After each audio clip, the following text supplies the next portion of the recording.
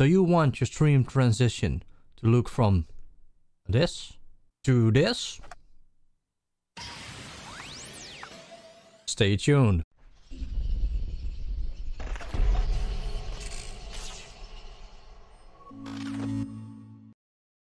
Hello and welcome back to another video. How are you guys doing? I hope you guys are doing well. If you do, hit that subscribe button.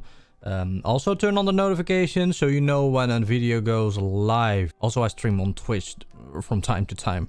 If you want to check that out, link will be in the description below as well. Alright, enough with the plugs. I hope you guys are doing well and I hope you're excited for this transition. Um, I made this for you guys, so uh, I hope you guys will enjoy.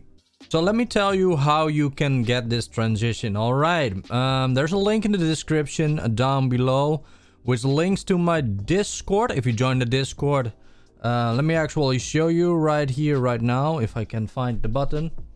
So, you have joined the Discord. Woo! Okay, and now you're wondering where is the transition, right?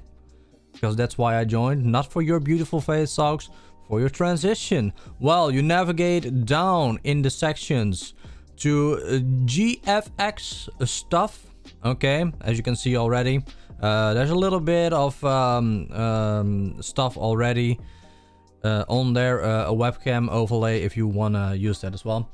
But yeah, go down, click on the link right here. It's a mega link. If you click it, um, it will open up this window right here um, yeah, that's it. And um, then press just download as zip and it will be downloaded. Easy peasy, right? So yeah, this is how the, the file thing looks like, right? And here you have the, the transition and um, the notes uh, wherever you saved it. Okay, keep that in mind because we will need it. So now you have the right files to use, right? To um, add the transition. So now what you're going to do is Go to this little section right here, scene transi transitions in your OBS. It's very, very simple, guys. Just uh, click on the plus sign. Um, click on Stinger because that is a custom transition. Click on that, name it. Uh, Pokeball uh, epically. I don't know, man. I, I can't type. There we go. Now you just browse to where you have stored your file. For me, it's right here. Pokeball transition. You add it. And now you have a transition. So you can preview it if you want. Uh, press on this. And there you have it. There's no audio. We will fix that in a second. But okay, so you see that transition point. Uh, if you press the preview, it switched too fast before the actual transition. So what you do is um, you time it. And luckily I already have the timing for you. You type in 1400 milliseconds. And if you uh, press preview again, it should cover up. And then the transition happens behind the, um, the Pokeball. So yeah, one more time. There we go. Poof. And it's gone. There's also sound involved in this.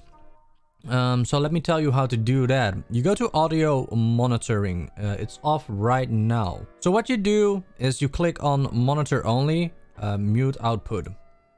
Okay, if you press uh, preview transition again, there you have it. There you have the sound. Pretty cool, right? So yeah, that's the transition. Very, very easy to do. Now to add it to a scene, right? You press OK. Now you have your Pokeball epically right here. And all you have to do right now to add the, um, the transition to a scene is just obviously go to your scenes, right click, press on transition override. It's, if, if, if, it's on fade, just go to your uh, Pokeball epically or whatever you named it. And yeah, there you have it. You also, you you can also do it to other scenes, obviously, to every scene that you want to have. Um, transition override, choose your name. And then when you have added the transition to the scenes that you want to use, click on it. And there we go. So in conclusion, the reason why I like to use um, custom everything, to be honest, is um, the more you customize stuff for your channel, the more it sets yourself apart, right?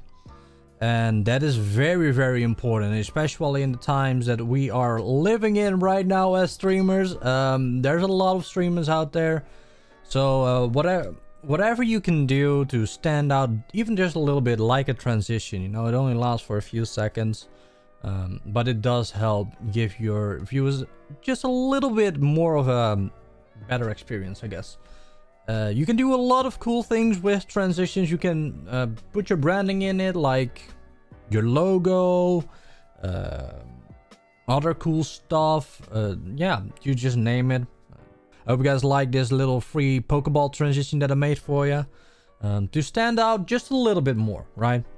By the way, guys, if you want me to do like a series or a mini series that I go over stream overlays, for example, webcam overlay, um, just uh, uh, an overall overlay, stuff like that. And if you want me to to do that, I can also make one um, for you guys as well, like just a general thing, like for example, a webcam overlay or something else that you guys want to see or you know just let me know in the comments if you guys are interested in me doing a mini series like that um, and if so what else should i do what up next let me know thank you for watching i do really appreciate it um, i hope you guys enjoyed the video if you have leave a like subscribe and i will catch you in the next one. Oh, also don't forget to turn on the notifications, yada yada yada. You guys know the drill, right? Thank you, and I will see you. Bye. All right. Thank you for watching to the end of the video. I do really appreciate that. I hope you guys enjoyed. If you did, leave a like, maybe subscribe. Leave a comment if you want to have more episodes of this or other games. I'm always open for suggestions. Um, that being said, I also stream on Twitch from Monday to Friday. Link will be in the description uh, below. Appreciate it. Alright, enough rambling. Bye bye.